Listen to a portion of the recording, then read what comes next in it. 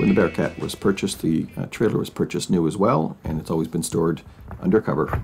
The track is a 154 by 20 inch wide. Uh, it is studded, and we also have ice scratchers on there to lubricate the slides on hardpack.